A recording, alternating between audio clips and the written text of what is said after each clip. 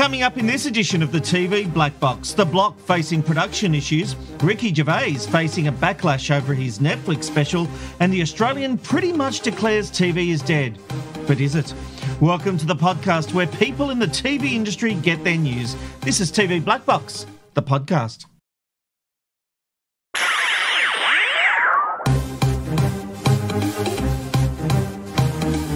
This is TV Blackbox, bringing you the inside goss from the TV industry. G'day there, I'm Rob McKnight. I'll introduce the panel in just a moment. But first, it was during this week in television history that we saw the premiere of this game show.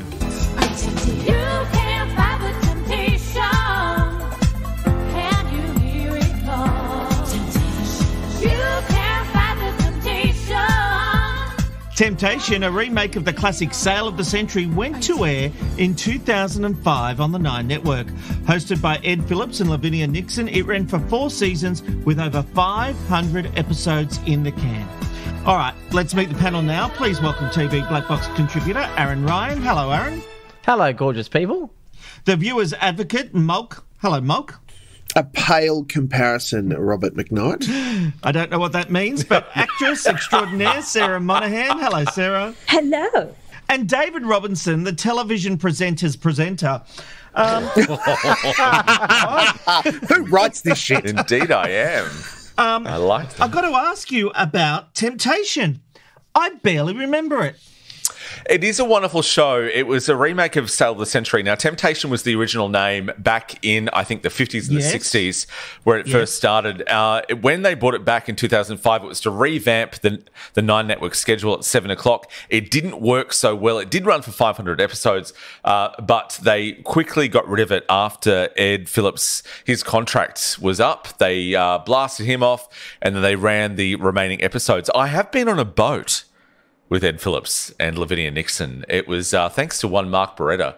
Hello, Beretts. I know he listens. He's a, a long-time listener. Uh, and we went on a boat trip um, around Sydney Harbour. And Ed Phillips came on board just dressed in your um, in your DTs, uh, and he was he was Oh, filling those out. Yeah, filling those out very well. Uh, it was uh, the gift shop was up and running, um, and Lavinia Lavinia Nixon was lovely as well. But they were both wonderful people. But you don't you don't prepare yourself to see a game show host in his DTs, but uh, he was But wonderful you're for on it. a boat, so it's acceptable. It's better Yeah, than but no being one- Maybe not in your day, No, Robert. but, but no one else was in their DTs, Sarah. That this is the thing. Everyone else got was. it. Yeah, Did he own the yacht? right. He did not at all. We picked him up um, from another from another spot there. He didn't, and I love the man for his confidence. So a big hello to him. a pale comparison. And a big hello to Lavinia Nixon, who I love, love, love. She's Wonderful, a beautiful yeah. person. And speaking of beautiful people, we begin this podcast following on from that devastating news last week on the sudden death of Erin Jayne. The former Aerobics Oz Style and Studio 10 host died last week at the age of just 42, and it's now been confirmed as a suicide. Many friends have come out and said they wish they'd done more to help her in her struggles with mental health issues. The very talented and versatile presenter leaves behind three children and her husband. Now, we don't often talk about suicide and, and mental health, but I actually thought this was worthy of acknowledging because Erin Jayne, who I worked with at the morning show and Studio 10, and, and I don't claim for one moment that I knew her well. We worked together. We, you know, we, we basically did some stuff together, but I, I didn't know her that well. But she always struck me as a really down to earth person. And Robbo, we just see mental health is a massive issue within the TV industry. Do you think more can be done to help people, or is it just the dog eat dog world of television? It's a dog eat dog world, Rob. That's that's for sure. Uh, the thing is with mental health in television, um, if you're not at the top of your game uh, and just uh, bulletproof, then you're considered to be less than, and and that is, I, I really believe that. Um, if if you show any kind of um, softening or any kind of um, you know dent in your armor, that becomes a problem. Um, you need to be in television, especially in Australian television. You need to be strong. You need to be bulletproof. Nothing can get you. Nothing can harm you. And if it does, you're weak as piss. And what are you doing here? There are plenty of other people who want to be here instead of you. Um, there is a wonderful thing throughout television where it's they're, starting to come around and saying, "Oh, well, you know, if there are mental health issues, you got to talk to us. You got to communicate with us." It's it's all rubbish. It's all bullshit. Um, if What if do you, mean? Do you mean from the networks or the production Yeah, companies that 100%. run reality TV no, no, shows? no, no. I'm talking about network. I, I don't have any problems or any um, any experience with reality shows, but I'm talking about networks, and I'm saying that um, overall they can be good about it. Um, but at the end of the day, if you say to someone who's in management, and this has been my experience, uh, if you say to them, "Look, I'm not coping; it's not going well for me," um, well, then your weakest person you need to move on. Yeah. Um, that that is a big thing. Uh, so we love to talk the talk. We love to walk the walk. Um, but when it actually comes to someone saying to you, "I need help. I need support," uh, Australian TV is not the place for you. Is that Robbo? And and I'm asking, you know, your experience and, and opinion, in part because of, you know, television is still, or at least a number of people who work in television still think of it as the last bastion of, you know, the bright lights and the things, and and you know, it's a, it's a it's always been a boys' club at the top of the tree in the boardrooms, and hmm. you know, if you don't join the parties, if you don't engage in all of the stuff that that you know you're seen as weaker or you're seen as lesser. So therefore even if you want to show the vulnerability that you're that you've got mental health concerns or issues that that only is compounded independent of all of the nice bright shiny but our shareholders need to know we're caring for our staff that there's still hmm. this underlying sort of premise that television is different when actually oh. it's not No, it's it's not, and I love television. I really do. Um, in in the game, if you can make money off it, if you can um, make ratings off it, then fine. Tickety boo, television will um, will embrace you and say, "Let's talk about your story and let's and Yep. let's broadcast that." If that isn't the case, then no, you're on the scrap heap, and that's really important. I remember Peter Peter Meakin once saying about Adam Boland um, when he was talking about his Australian story. He said that um, everyone in television has something wrong with them. Every everyone in television has some kind of mental deficiency. That is absolutely right. If you think about television, you, you look at it as being why does this one industry uh, attract so many issues? And it's because people who want to work in TV are not sane. And I mean that in a really nice way. I mean that that everyone's got some issues and that's the problem. So when you've got an industry that attracts everyone that is that is not always 100% mentally healthy, that's what you get. Um, and I think that we're still having problems within the industry of going, okay, well, we're attracting these people. How do we help these people? Um, but at the moment, and I think it's still the case, if you are, if if you're not bulletproof, if you cannot pretend like you can handle it, then eventually you'll be struck out, and and and that's the issue. And the thing is, Mulk, it's not just about partying. That I think that was once upon a time a thing, but it is an industry that's based on who's in, who's your mate. Not and and I don't even mean that just from a bloke thing. This isn't a male female thing because I think it happens on all levels of power. It's who you get on with, and I have seen so many Yep. people promoted because they got on with someone and not because of the ratings return they had delivered. People can fail upwards in this industry. And this is the, one of the big problems. And we're going to talk about the future of TV in a moment in one of our topics. But the thing I would say to you is that there are so many occasions where people don't deliver ratings performance or good ratings performances for mm. shows, and their shows are widely panned. They'll get another gig EPing a show, they'll get another gig being in charge of a show, and get another turn and another turn and another turn. And it doesn't seem to be based on what you can deliver, but how well you get on with the people in charge. Who you have drinks with on Sunday. And that leads to problems. Erin Jayne, I think, would be shocked at the amount of coverage she got when she would have doubted herself. She would have been so low that maybe she felt her career hadn't gone where she wanted it to go, and maybe that played with her. But the simple fact is, look at the reaction it's got. And as I mentioned the other week, it's been one of the biggest stories on the various news websites. Yeah, uh, can, can I can I just say something really quickly on that? Uh, You're exactly right, Rob. Um, when you do a good job in TV, for the most part, you don't get told it. Really, if if you're at a certain level, if you're at the top level, then yes, you were told, and that, that's part of the that's part of the gig. If you're on a, a separate level to the which Erin Jayne's and, and I, I'm only prophesizing here, but you don't get told that you're doing a great job. You ju- you just turn up, you do it, and it's and if you do a bad job, if you if there is something you get wrong, told when you get it wrong. You absolutely get told when you get it wrong. Um, this breaks my heart that this woman was 42. She's got three kids, a husband. On the, on the surface, she looks like it's you know everything is wonderful and, and, and amazing. This is the reality of it. She had dreams. I'm assuming um, she had ambitions. Um, whether she felt in herself that she didn't get to it, you know, that's for her and we'll never know. Um, she was very talented. She did do a great job. She was wonderful at what she did. But in TV, if you do a shit job, you get told about it no matter what. If and you do a good job. It's always it's rare. negative. Yeah, that's right. It's you're rare that always you in get fear told. of losing your job. You know, no matter what And it- ratings you deliver, if you're not uh, part of that in crowd, as I mentioned, One hundred percent. you know. And look, for anyone listening to this, because there are a lot of people in the industry, if this topic has brought up issues for you, go to Lifeline, go to beyondblue.com.au. There are people out there who can help. Let's move on. Because while we might be used to complaints out of shows like Married at First Sight or My Kitchen Rules, who knew the block would find itself in controversy? Producers behind the show have denied recent claims that contestants were being denied basics such as food, toilet paper, and car keys. And insider sources told the Daily Telegraph that the teams on the new season were doing it tough and that some days a muesli bar and apple is as good as it gets. But executive producer of the reality series, Julian Cress, told TV Tonight that that was all a lie and that host Scott Cam actually cooks a meal for the contestants at least two nights a week. While he acknowledged that filming the show is tough, he insisted all basics were provided. Aaron, I just can't believe this story. I've seen a lot of things in TV, and, and look, here's the thing. When you film something like Married at First Sight, you're having a dinner party, you might let the alcohol go free, flow free before you feed people because you want drama.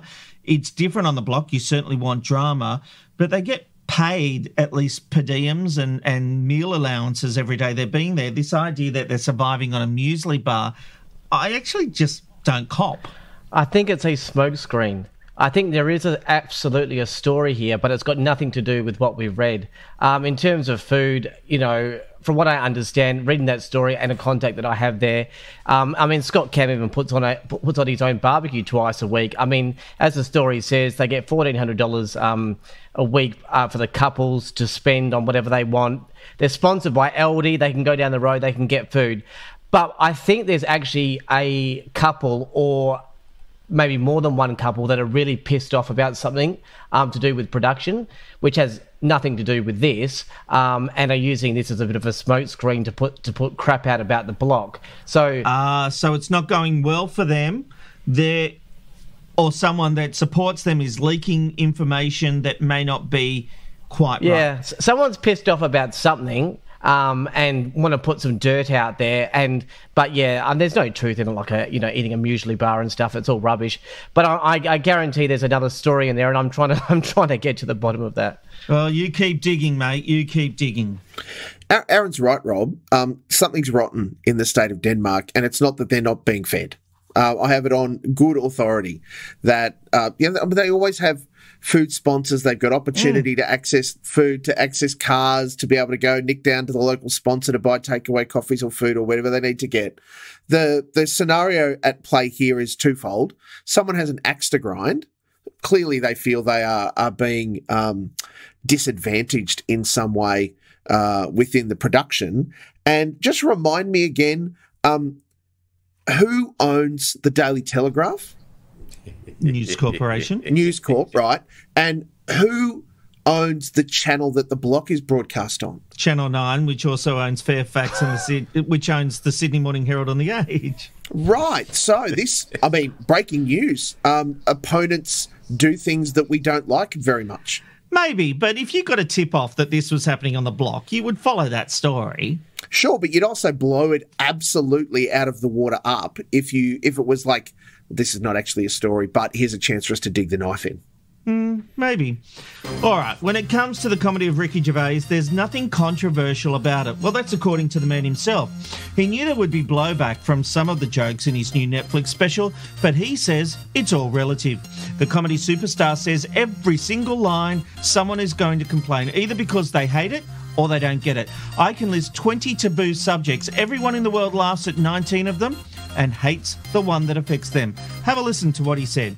Welcome to my show. Uh, it's not a show. There's no dancers or jugglers. It's basically a bloke talking, um, which is essentially what stand-up comedy is, isn't it? A bloke talking. Sexist.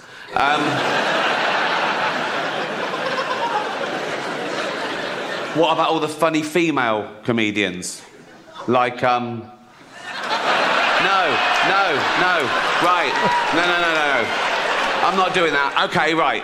That was irony, okay? There's going to be a bit of that throughout the show. See if you can spot it, okay? Now, that's when I say something I don't really mean for comic effect, and you as an audience, you laugh at the wrong thing because you know what the right thing is. It's a way of satirising attitudes. Like that first joke, I used the old-fashioned sexist trope that women aren't funny. Now, in real life, I know there are loads of funny women. Like, um... I did it again. Well spotted. Good. Love it. Many critics have come out and said he should effectively be cancelled and his content removed from Netflix. Sarah, there was a lot of bro- blowback to his um, transgender jokes that were throughout the show. Do you think it's worthwhile of being cancelled?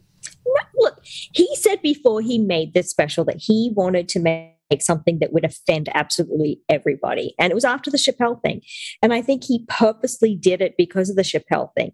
But here's the thing he says he's being inclusive because it's true. If you pick one certain set of people that you will not include in jokes, then you are being discriminatory because everybody deserves to have the piss taken out of them. and that's what people need to realize is it's well, he not- made that point.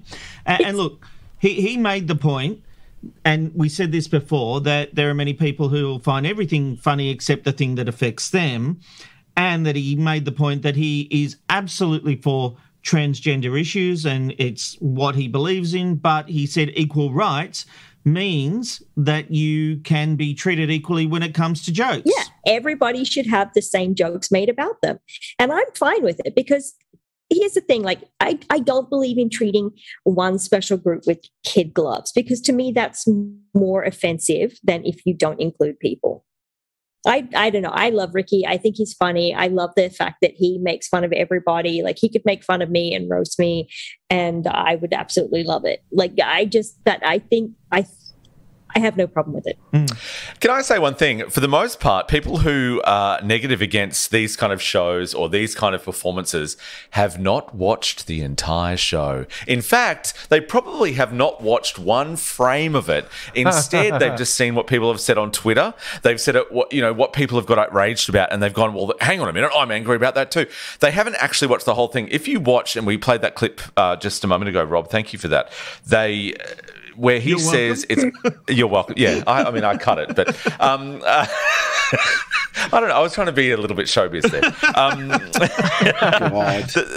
this is the falling point- apart. the point is, is that he says it from the moment. He goes, "It's irony. Obviously, there are many funny women. He's making a joke out of it. That's comedy. For the most part, from what I've seen from people who who who have commented on Twitter, they've said things where you clearly have not watched the program because he has said that." From the very beginning, he has pointed out that it's irony. Look, this is comedy. And you know what the biggest thing is? And I love this comment. If you don't like it, don't watch it. Yes. Okay. No- one is pulling your eyes open like a Clockwork Orange and making you watch it. I think he's very funny. I get the understanding, and also. I've got to tell you, when he says that thing about taboo, when you can you can have 19 topics, but the 20th topic makes you upset, I kind of get that. There there are a few things in there where I thought, oh, as a gay man, I'm kind of offended by that, and then I realised, oh, I can't be just because that that that affects me. It's this overall thing. They are jokes. He has said comedy. It's probably shit that you guys say to each other down at the like, you know, the gay bar anyway. Correct. Ew, I don't, I- I don't know what you're talking about there. That's gross. But, but yes, Sarah. Uh, Mark, isn't it as simple that if you don't like Ricky Gervais, don't watch it? Why is there now a demand to get him removed from Netflix? Why isn't it good enough for people just to not like something and not watch it?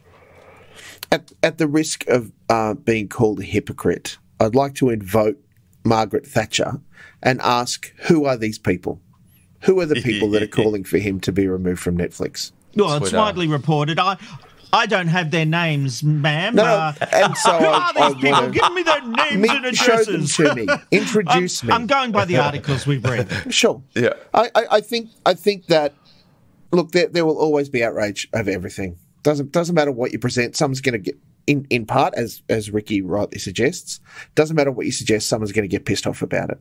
Uh, I think that particularly in our present age, there's a lot of lazy journalism that takes place by saying the Twitterati, the Yeah. people, Yeah, so- someone. The one person on Twitter. It sounds outrageous. I can write a story saying people demand its removal, even though I've got no facts. Mate, Is that what you're saying? You can jump into social media and find someone that will reinforce the angle that you want to yeah, of push course. without it. With and so all of a sudden you can say social media is up in arms. Yeah. Look, at, when it comes to entertainment, absolutely, you make the choice to watch the thing. If it upsets you, change the channel, turn it off, go and watch something else. Hallelujah. I was I was going to uh, lean in and be all offended and say how horrendous the whole special was. Ricky Gervais is a funny bastard. Um, you may not like him. That's fine. I mean, you know, I, in the same breath, I love uh, Amy Poehler. I love um, Tig Notaro. I love like there's a whole bunch of very funny um, uh, comedians that others might find offensive. Dave Anthony. Um, that I mean, you, no one's making anybody listen. No one's making anybody watch anything. There's no, you know, clockwork orange thing like Robbo said.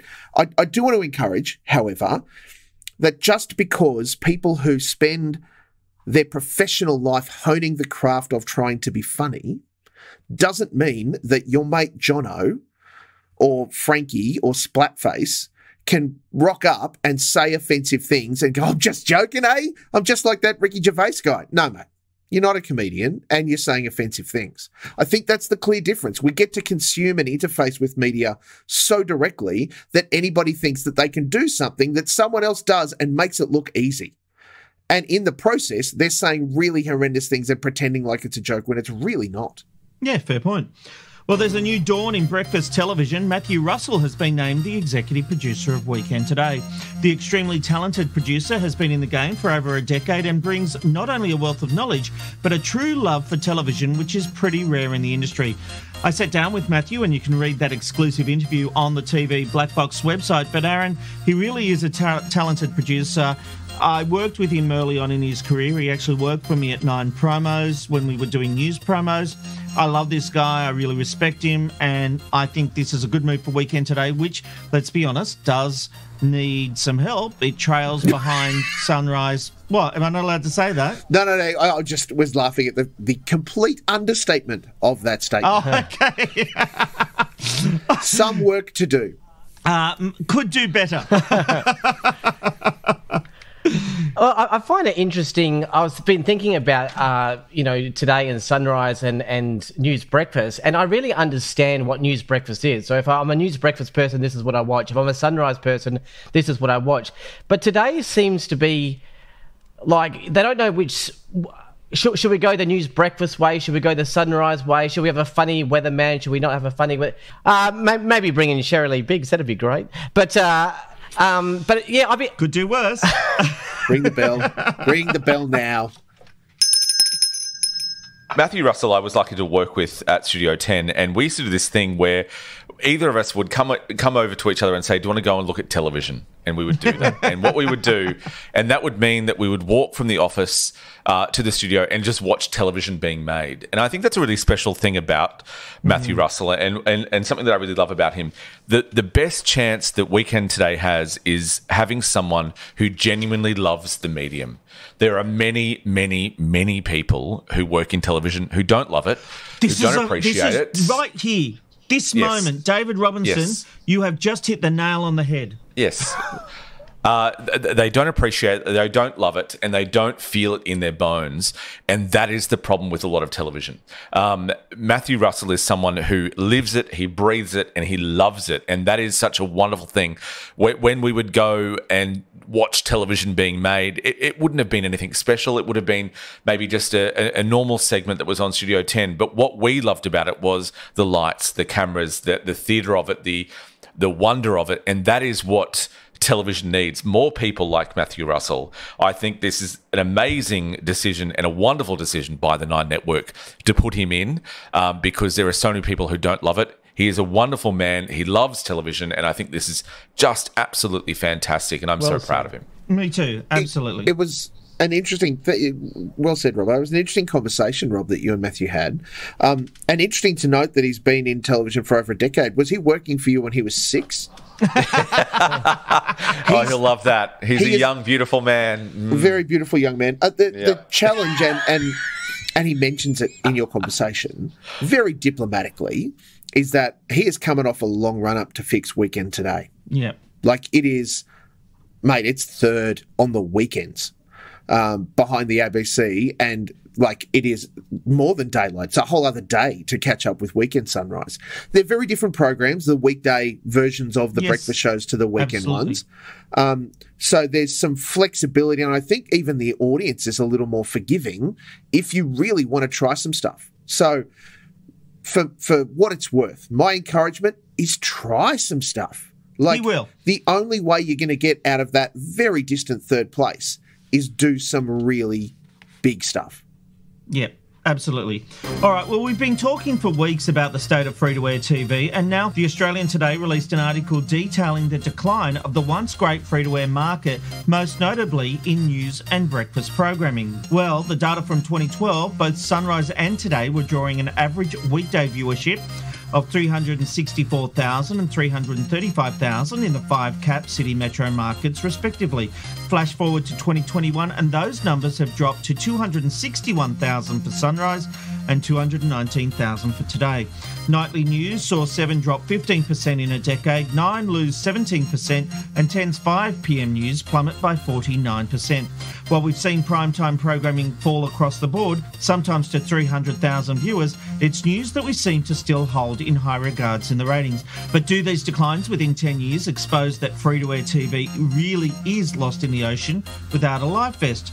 Well, we can't let an article fly by without giving our two cents. Uh, Mog, without trying to beat the same dead horse that we've been doing, what is it about news and breakfast TV that's getting people worried about free to air this time? Or should we accept that no programming is immune to the decline of free to air TV? A- and the fact is, there is more content available than ever before. Is this just part of the the ship writing itself? Look, I think yes to all of those things that you said, Rob. Um, the the the challenge that we face is that it rev- it reveals the cracks that maybe before we kind of glossed over. In, in like the 10 years ago kind of sense where we might have seen those numbers because i'm sure if they went back another 10 years there would be a similar kind of differential maybe not as sharp but a decline nonetheless um, and and i think that the the, the thing that makes this particularly newsworthy, right? Breakfast television, news television, they're in the same department.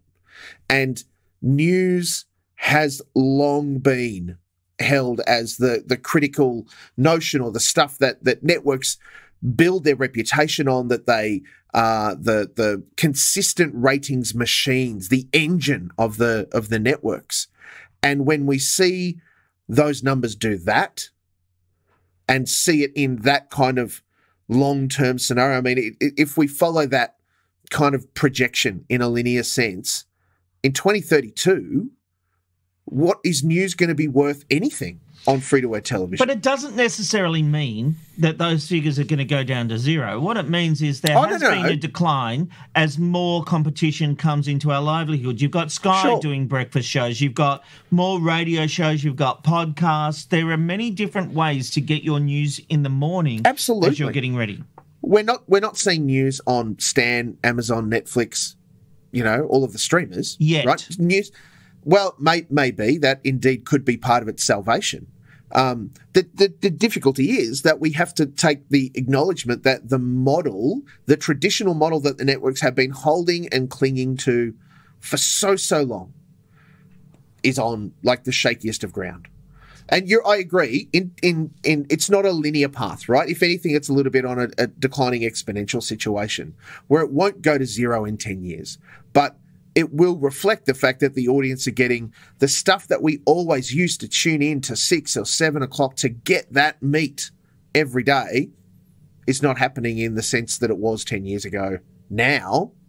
So in 10 years' time, wow. Yeah, look, it's interesting. And look, I did comment on this article. I was quoted in it talking about the impact of social media, Aaron, and how people can catch up on shows, not just, well, not specifically news, but you look at it. In my feed, come six o'clock, I get pretty much the biggest stories from the 6 p.m. news straight into my Twitter news feed. So I don't necessarily need to watch the news to know what's going on because if there's something that piques my interest, I can watch it. Yeah, I, I, I always. This is just me. I always explain things in analogies, and the, the, the best and the simplest way I think about it is at one time, you know, there's chocolate and strawberry ice cream, and they're obviously very popular. And then they they have 25 flavors. Does that mean chocolate and strawberry ice cream is is now dead? Well, it's not. It's obviously going to decline because there's 25 other other flavors to choose from. So it just has to evolve, and there's going to be you know different it'll come and go, but people still still want the chocolate and the strawberry. I think people are just, you know, we can go back like to the 70s and the 80s and stuff, but the reason obviously it's declined more so in in this, this 10 years is because obviously with the amount of streamers that are out there, I mean they haven't been around for that long, you know, Prime Video, Apple, and all that kind of stuff. People are watching the news, you know, on the train, you know, on Facebook and just consuming their news through that and consuming their news through Twitter and clicking all sorts of stuff and it's just a different way that people are doing it so i think tv still has its place because people will, will still want to rely on that it's just that there's a million choices And Robbo, now we have the feed going to digital only. It's leaving broadcast television. This to me, while it's sad because I love broadcast television, um, this to me probably seems like the right thing to do.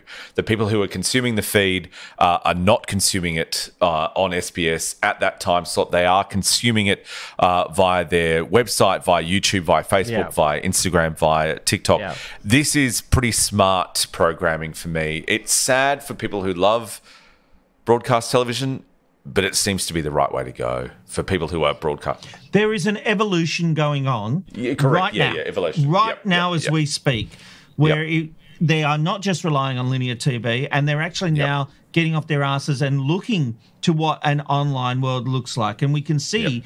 the resources getting put into the seven pluses, the nine nows, uh, those kind of apps, and iView and all those kind of things.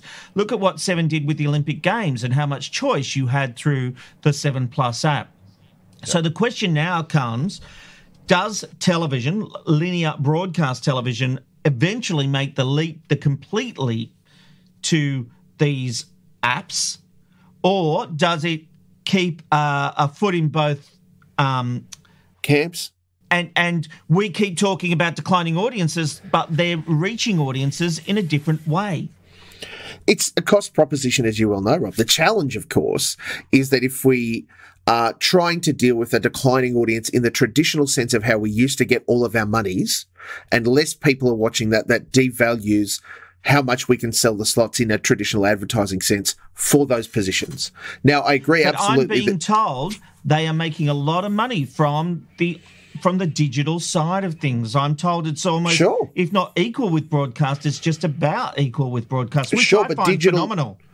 digital isn't holding up seven or nine news at six o'clock at night, right? No. If They are they are making that money, banking that money through advertisers who turn up to the most popular shows on TV every night. Yeah. Um, I agree that the networks. Let's just broadly call it television, right? The television is responding and doing stuff, and it needs to. It needs to. If we think back 20 years ago, when Bolo really first kicked off Sunrise, one of the big hooks was that if you were, was it Optus, I think, or, or whoever it was, if you had a, a mobile phone on Optus, you could watch Sunrise for free on your phone Yeah. then. Yeah. 20 years ago.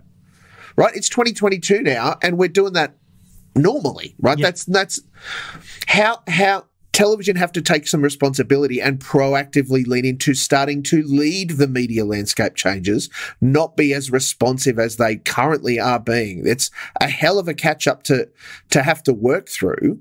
Um, if they want to absolutely retain an authority and an ownership, particularly around news, they have to be seen as the leaders. Because if they're the followers, no one's going to give two shits.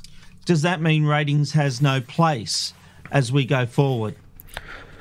Well, you would have to ask the people that find value in those ratings, which are the people who sell the advertising slots in that programming.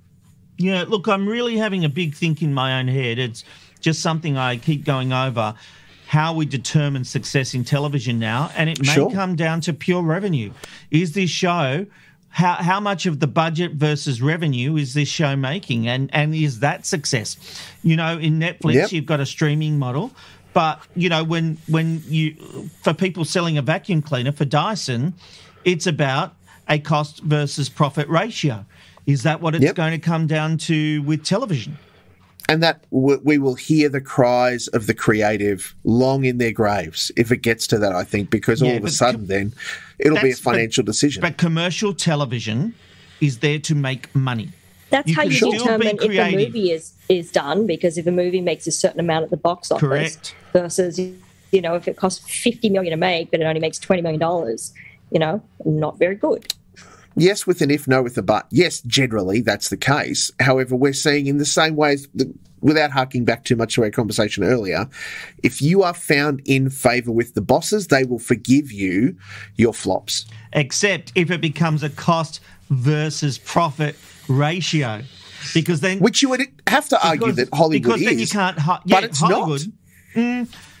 But I'm talking Australian television. If we're now down to success being based on profit, those people who skirt by within the industry, failure after failure after failure, but they know the right people, Sure. will be caught out. I I think if we move to a profit based regime, if that's entirely the focus, I think that wholesale changes will have to happen in the boardroom for that to be considered. Because while one of the things that, that TV executives like your Sneesbys, like your Warburtons hang their hat on is that they are not just business folk, but they all claim to know and understand and love television. So therefore, there's a, a, a, a leniency towards the creative. And in a But the right a creative pure makes profit driven scenario, there is no room for that. Yes, yes, there is. Because the right creative makes money. You can't just program based on what has succeeded in the past. You still need creative flair. You still need a gut instinct to go, you know what? Channel 10, MasterChef. Yeah, this show sounds on the surface like it shouldn't work on Australian TV, but we believe in it. We're going to take the punt, and it paid off big time. You I still agree, Rob. need creativity. But if you're running it purely from a we're measuring it by a profit scenario, a cost v return, that's off the uh, table. No, no, it's not. Because what I'm saying is that you still need to have those creative punts to get the revenue. That's what I'm saying. What? And and I love you. That's a creative person talking. I think there's going to be a whole heap of other factors because before there might have been a couple of factors, but now there's a lot. So, like Holy Moly, for example, they were able to, if they were able to get all of the other uh, countries to come in and film in Australia, it, it, it was. It made sense for Channel Seven to do that, but they weren't able to do that because of COVID. So then the series didn't didn't Yeah. continue. I mean, Love Island's a you know a, a big one. Obviously, it doesn't rate very well at all on on broadcast, but it has a huge 150, 160 percent uplift. So they can um, access a whole digital market there. Um, whether they can sell the, the show overseas, um, whether they're getting money from that. Shows like Big Brother, obviously, all part of yeah, do do big big um. You know, in in other ways, and then like for example, the celebrity celebrity apprentice probably not so much. So they have to look at all of these factors on who they can sell, where they can get money from, um, you know, can, can it run four times a week, and all of these type of factors now, not just you know the advertising dollars. Yeah. Still to come on TV Blackbox, the new boss of 7:30 named. A former TV presenter gets a major gig behind the scenes, and we'll find out what everyone's been watching when we open the TV binge box.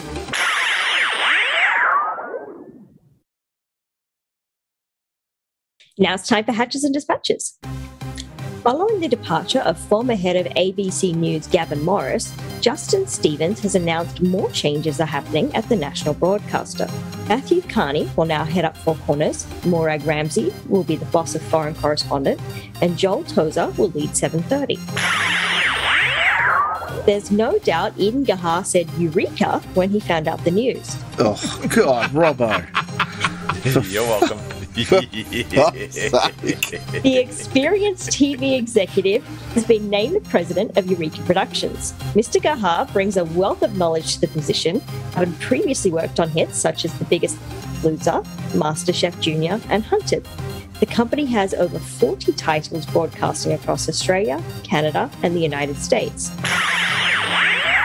He's played a doctor and one of the most famous publicists in the country, but now Rodger Corser is turning his hand to hosting.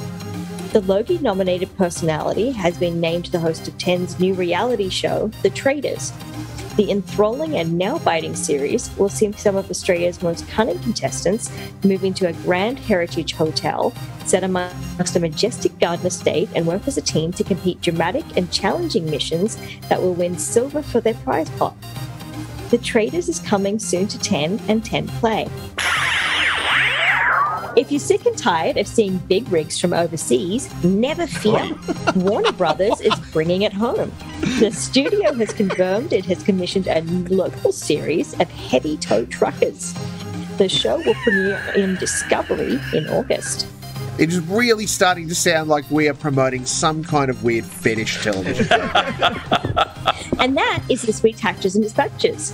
Thank you, Sarah. To the ratings race now. Team Red has claimed another weekly network win with 29.8% and Team Blue on 25.4. The ABC moved into third spot this week on 18% with 10 not far behind on 17.7. SBS cruised along with 9.1. On the primary channel shares, it was a two point lead for 7 on 19.9, with 9 on 17.9, ABC on 12.3, 10 on 11.1, but an improvement on last week, and SBS had 5.1. 7 2 and 7 Mate were the clear top two multi channels, but ABC News moved into third spot thanks to its post election coverage. Sunrise beat today, and ABC News had a good week, clocking up several wins against today during the week. The semi final of The Voice rose to over 1.4 million when total TV ratings are taken into consideration. In overnights, the grand final this past weekend received over 750,000 viewers. Over at 9, Celebrity Apprentice rose a healthy 29% to 697,000 in total TV. Over at 9, Celebrity Apprentice rose a healthy 29% to 697. Now that means it's coming in third compared to MasterChef and Big Brother, so 9 might be a little disappointed with those ratings and hope the series builds a little. On Sunday night in overnights, the series is still sitting under 400,000, so it really does need some bigger gains in total TV. Uh, Mulk, any surprises in there for you? Oh, look, the big surprise for me was the Celebrity Apprentice came fourth on Sunday night, behind uh, the final of The Voice Australia, which actually rated less than the semi final, MasterChef, Grand Designs, and then poor old Channel 9 in prime time. Um, This series of I haven't even looked at an episode of Celebrity Apprentice Australia. I've got to be honest, and I think we talked about this last week. I'm not even going to say on paper it's better. In watching it, it's actually better than last year. And and uh, without so what's happened? like- Is it a promotion thing? Did it not get? I think that people just don't like watching Z grade celebrities do shitty things on TV anymore. Hopefully, this is the beginning of the end. well, I was about to say that's the end of reality TV in this country. Look, not all of it is celebrity, right? The Bachelor, oh, um, uh, Survivor, oh, Big Brother, oh. Um, I'm a celebrity. no, it- get me out of here. oh. I think it's probably the only one that gets away with it at this point, but even still, it's diminishing, right?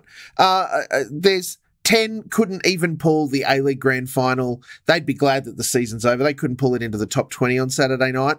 Um, almost, almost nearly slipped their primary channel down to sixth. Um, so that was a, a horrendous night. Or yeah, fifth Did or I, sixth for did. I notice that Antiques Roadshow on the ABC got 197,000 Yeah. on Sunday night and was in the top 20? Was the number 20 top show? Yeah, correct. Yeah, but it's not. It's not on Sunday night. It's So it's on afternoon. Sunday. Sunday. Yeah. But yeah, no, it slid worse. into the top 20. That, but that was the nature of television on Sunday, right? And becoming more and more. Sport is down. Like it's all of that kind of weird nastiness. Well, I'm that leads really to our keen, previous discussion about what is Yeah, yeah. success now. I'm really keen to see what the like the winter quarter is going to deliver us. And I know that for seven they've got the Com Games coming down the pipe, and that's going to do. I would expect pretty good business for them. Um, ev- everybody else really has to lift their game, quite frankly, um, because right now uh, as we'll get to in a second when we talk about what we're watching, my eyes are almost almost exclusively over on non-linear broadcast television. Aaron, uh, what's your wrap of the week, mate?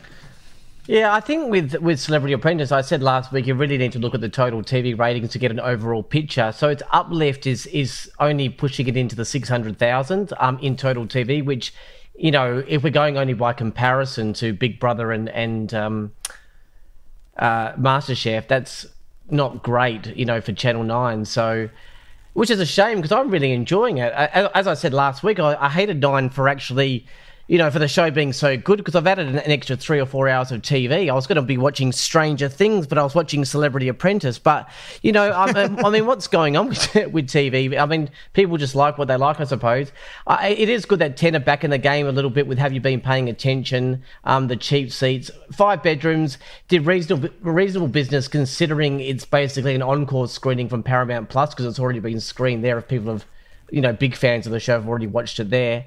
So yeah, I think things are ticking along. It'll be interesting to see how the Commonwealth Games do when that comes up soon. So, um, if that's going to bring everyone back to TV, but um, yeah, it's that's I'm not convinced at this point. I I'm with you, and I think that that'll be probably the big ticket item in Q3, where the network broadcast TV will have to convince us. Absolutely, and then I think the Commonwealth Games, and then the last show really to look at will be the block. If the block is going to go and do like this same 400, 450,000, I mean, that that is probably then saying goodbye to overnight figures above 600,000, except for maybe maths. Amazing. Amazing that we're talking. The episode of A Current Affair I was on rated higher than that. The Because episode, you were any on it. of Current Affair rates higher than most things. That's the really Yeah. that's the really ironic thing, Sarah. Well, you could just go with it was because of me. Thank you. I know. It's Mark. Sarah, Give it us rated really well because of you. Thank you, Monk. All right, thank you, guys. Uh, it's time to open the TV binge box and bring this sucker home. Robbo, what have you been watching this week? Well, I the only thing I've watched on broadcast television, of course, is anything to do with Sarah Monahan. So it's been a current affair. It's been Studio Ten. I've loved it. And you I've listened to her that. on 4BC, didn't you? I don't know what that is, but I, I'm willing to get on. No, kidding. Love it. Sofie Formica, afternoons on 4BC. Fantastic. If you want to listen back, 4BC.com, listen. It'll be wonderful. Um, I also watched the uh, the first couple of episodes of Obi Wan Kenobi. Loved it. Absolutely loved it. Did you? Little, uh, little uh, trick for you. If you watch uh, in the first episode, um, one of the visual effects of there's a big wide, you know, wide shot, and one of the um, I don't know, like the the the curtains of where Obi Wan Kenobi is cutting meat, it kind of just stops because obviously they didn't render it more, and the visual effect just stops and it's and it freezes. No. One for you, ever? Yeah, watch it. It's fun. Watch it. Watch it. Watch it. I did watch to- it, Robbo. I'm Yep. not sold. See, I didn't watch The Mandalorian and I didn't watch Boba Fett, but I watched this because I knew the story. So I'm pretty much an old man like that. If I don't know something, I can't watch it. But I Oh, watched no, this. Mandalorian's gold. Yeah, I can't Obi-Wan watch it. Kenobi, I don't know. It feels like it wants to be a feature film. Well, I really liked it. I really liked it. It was going to be a feature film, but when um, Solo, a Star Wars story, didn't go too well, they then relegated this to being just a, a TV series. I really enjoyed Just it. I a also- six-hour TV series That's instead of right. a two-hour and a half film. exactly, exactly. I also watched uh, Everything or Nothing, which is a fantastic documentary on Stan about James Bond and how uh, that came to be from the book to the screen. Uh, one of the wonderful things that I loved about it was Ian Fleming, who created James Bond. He went up to his wife when he first saw her, I think in the Caribbean, and said, "I What hope you you're not a." No, he said, "I hope you're not a lesbian," uh, and that's how we picked her up. Oh, that class. was her. That was his line. I loved it. I, you know, obviously it's not political correct, but I thought it was brilliant. Um, and that's what I've It's a been valid watching, uh, question. this week. Yeah. Fair Is it though? Really? You, well, you, you can't ask it Why didn't anymore, but know if you Ian Fleming could. Yeah, that's right. That's what I've been watching. All right, Sarah, what have you been watching? Um, well, uh, the lights are vivid um, because I'm here as a tourist and it's amazing outside. Like literally watching the Harbour Bridge Vivid right is now. an amazing It is light show. so good. Um, and then we've been watching a bit of morning TV. So I've been flicking through, you know, whoever's going to have me on that morning. I was about to Um, say, just the ones that you're on? I've been watching them all, Wow. you know. And Wow. um, then um, not really much else. Just because I'm trying not to sit in the hotel room watching TV, but just go out and actually enjoy life. Yes, absolutely. Um, Aaron, what have you been watching? Uh, a few things. I just like just to be serious for a moment, um, because we're just loving obviously seeing Sarah on on Studio Ten, the current affair. But I just because we know Sarah and and it's great. We we talk talk about this. We, we actually forget how brave that Sarah really is. Um, you know, speaking about a person, whoever it is, um, that's sort of being sexually inappropriate, um, is a big thing, and how much of an impact that has on the audience and people that are you know survivors of sexual abuse or are being sexually abused and are actually speaking out because of because of Sarah. They actually seeing her as a mo- if Yeah. she can speak out, then so can I. Um, and we're never going to know all those people because not everyone writes a letter to Sarah and says, "Oh, I did it because of you." There's going to be hundreds, thousands of people that do that. I mean. Similar story, but I, I've done that in my past, um, speaking out um, at, at high schools and, and detention centres. I sort of did a roadshow type thing about my sister and, and her life and about me. And yeah, it, it, it's good that it has an impact on, on, on people, but you also realise that the person that's delivering it, you know, in this case Sarah, I mean, it does impact her life as well. Um, has to, you know, bring bring the same subject up over and over again. So I just wanted to say, Sarah, that we love you, and even though it's great seeing you on TV and we, we talk all, all about that, it, it is actually a really difficult subject, and you're really brave, um, and you spoke really really well on a current affair in Studio Ten. So um, well done. Good on you, Sarah. We love you. Great. Yep. Now, how do I segue into that to Stranger Things? I'm not sure. but you know, I, I haven't actually watched Stranger Things. It's, it's come out now, so hopefully I'll give you all a, a review next week. So I've been looking forward to that. I watched the, the, the final ever episode of This Is Us. Channel Ten will have it in a um, about three or four weeks. Um, really, really good. They ended the show well. Um, Let me guess, there were tears and you were really, really sad, just like every episode of that show. so the reviews, the review was that it was really sad and there were lots of tears. Oh, that's what you just said. but yeah, a lot of shows have been wrapping up. Obviously, in America now, it's the end of their season. So I watched New Amsterdam and um, NCIS Los Angeles, which was actually really good because they they did a. It's always about crime, but this was a really family like ending. It was it was really nice that that show. Obviously, Big Brother and and uh, Celebrity Apprentice. So, oh, and I know we don't talk about. Um, movies that much, but I went and saw Maverick. Top Gun 2 is the best film ever, and I've watched it. I've watched Whoa. it twice. Well, maybe not ever, Ooh. but it's awesome. Yeah, I've I've heard good things. Yeah. I look forward to seeing it. I heard good things. Um, I've been watching Big Brother on Seven to no one's surprise, and I'm just loving it. It's getting better and better and better. So you're the one. Um, I've discovered Star Trek Lower Decks on Prime Video. I've seen this show around for a long time, and I've never looked at it. Um, but I've taken a look, and I've I've fallen in love with it. It's just so so good. I watched uh, the season finale of Saturday Night Live on binge. I do not get why this show is so loved in America. Uh, the uh, there's the laughs are few and far in between. The it the, goes the through skits- seasons. So it's like there'll be like a good year where they have a great cast and then it just sucks for another five years. And then they'll have like amazing people again and then it just it Mm. dies off again. Well, every time I see it, it, it's just a struggle. The news update segment I love. I always think that does really, really well. But the other things, So it doesn't so totally all suck. Rob. No, it doesn't all suck. Oh, there's thing. I said there are some laughs in it, but the news update segment is probably the the more laughs per minute segment for mine. Uh, I watched Ricky Gervais Supernature on Netflix and loved it. Obi Wan Kenobi on Disney Plus, eh. And I've been previewing The Boys, which is on Prime Video. I think it starts this week. This Friday, Triple premiere. Ah, oh my god! Um, and I'm still watching episode three. Funnily enough, um, so I won't be ahead of people in a moment. But uh, I love it. It's back with a vengeance. It where it's going is just great. Love, love, love. Monk, what have you been watching? Yeah, I, I too in preview land have been all over the boys and uh, cannot wait to get the last two episodes now. Um, fortunate to get the first six, and uh, for fans of the series, it delivers in spades. 100%. It's so fun, so smart, so dark. Uh, and just when I wondered where they would take it from season two, man, buckle up. Get ready. um, other than that, the weekend has been about five words Stranger Things and Obi Wan Kenobi. Um, family. It, it- Stranger Things is something that gets my family around the television together. So we're enjoying being scared out of our wits watching that program. The Duffer Brothers, who made it um, for Netflix, said that they wanted to create a, a horror series however, knew that when they cast that the story was going to have young, small, younger people in it, that it couldn't be too horrific. Scary, sure, but not too horrific. But now they've all grown up. It can be as scary as we want it to be. And holy shit, it's scary. Oh. Um, there's some really good and really freaky stuff. And I'm not a horror fan, but I'm deep in Stranger Things. It's it's super good. Um, just a warning for those that are going to try and binge Stranger Things. Every episode is over an hour. What? For the seven episodes we have in this, the first part of this final season, they're longish, and the final one, episode seven, is an hour and a half. The final two episodes drop on the first of July, and they are an hour and a half and two and a half hours respectively.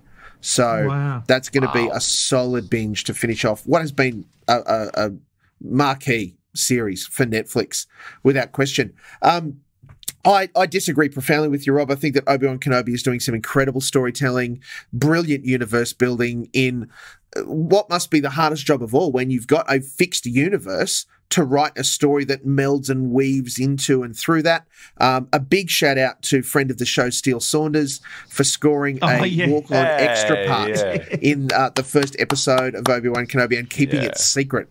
Uh, I know just how excited he would have been to get that, and then to not say a word about it was brilliant. So good to see him pop up as Goggles Dude. Um, but yeah, I'm loving it. I can't wait to see more of it. I think that's doing some good things. Hacks has caught my interest. I was really disappointed with the first couple of eps. The whole first season didn't get me until like episode eight. Um, and I was skeptical when I started Hacks on Stan, uh, but now I'm really enjoying some of the pattern and the the patter that is happening between the two uh, main characters. I think that's some uh, some good value in it. The, of course, the problem Celebrity with that Apprentice. title, Mulk, Yes. is that when I said I always assumed it was about computer hackers, but I now know it's about a comedian. very much. so it's about hack comedians, a lot like that joke, Rob. Um, It wasn't a the- joke. I you genuinely, legitimately thought it was about IT guys. Wow. Like Yeah. the IT crowd. God. Um, uh, of course, I'm watching Have You Been Paying Attention and the Cheap Seats. And between it and Celebrity Apprentice, there's not a whole bunch else that I'm watching on linear free to air television, which is Hmm. a shame.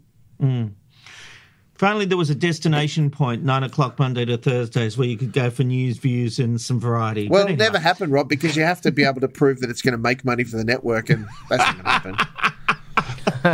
And that brings us to the end of this edition of TV Blackbox. Thank you, Sarah. Thank you, Aaron. Thank you, Mark. And thank you, Robbo. Don't forget, for more TV exclusives and news you can use, go to tvblackbox.com.au. It's where people in the industry get their news. We'll see you next week. Bye. These are not the McKnights you're looking for.